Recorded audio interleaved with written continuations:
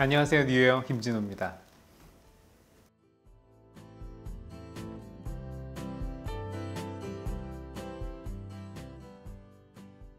네 3일 뒤부터 샴푸 하시지 않고요. 다음 날부터 합니다. 첫날 빼고 다음 날부터 샴푸 하실 수 있으니까 옛날 스타일에서는 정말 일주일, 이주일 있다 샴푸를 시키는 것도 있었어요. 혹시나 모발이 빠질까봐. 저희가 경험을 해보니까 점점 점점 그걸 그럴 필요가 없다는 것을 알게 되죠. 물이 닿으면 안 좋을 것 같다는 생각을 하시지만 상처에 두피 자체가 어쨌든 오염된 환경이에요. 완벽하게 소독하기가 어렵거든요. 그렇기 때문에 물로 씻어주는 게 훨씬 균이 적습니다. 그래서 어, 샴푸를 하셔도 전혀 문제가 없고요. 어, 보통 병원에서 교육을 시켜주실 거예요. 그래서 의사 선생님이 알려주신 대로 잘 샴푸하시면 되고요. 모발이 빠지지만 않게 조심하시면 됩니다. 문지르거나 하지만 않으시면 되고 땀을 흘리는 운동은 땀 자체는 사실 굉장히 깨끗한 물질이에요. 소변, 땀 다 균이 하나도 없습니다. 사실. 근데 문제는 그 땀이나 그런 것이 방치됐을 때 세균이 되게 좋아하는 환경이 되는 거예요. 습한 환경이 오래되니까 그 다음이 문제인 거거든요. 그래서 땀을 흘리시는 건 괜찮아요. 잘 씻어내시기만 하면 됩니다.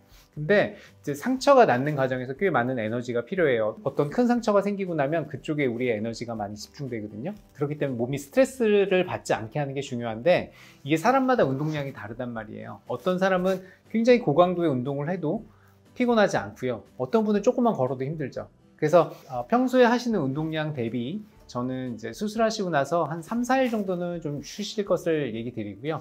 한 일주일 정도 내에서는 우리가 가벼운 운동, 만약에 꼭 하셔야 되면 평소에 한 50%에서 70% 정도 강도의 운동 하시고 나면 기분이 좋아지거나 개운한 정도 느낌의 운동을 한 일주일 정도 시작을 하시면 좋을 것 같고요.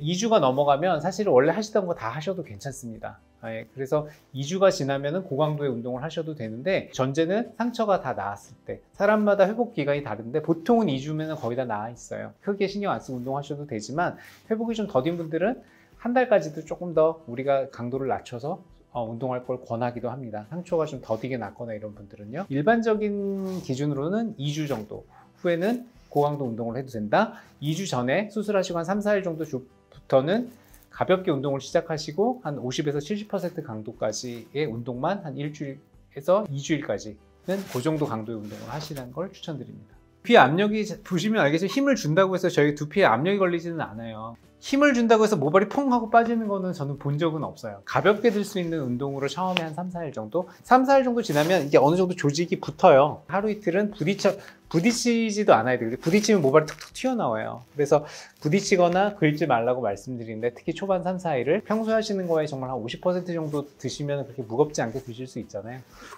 그런 운동을 권해드리고 싶습니다. 오늘도 저희가 준비한 컨텐츠 어, 잘 설명해 드렸는데 어, 다음에 더 잘 준비해서 말씀드리도록 하겠습니다. 감사합니다.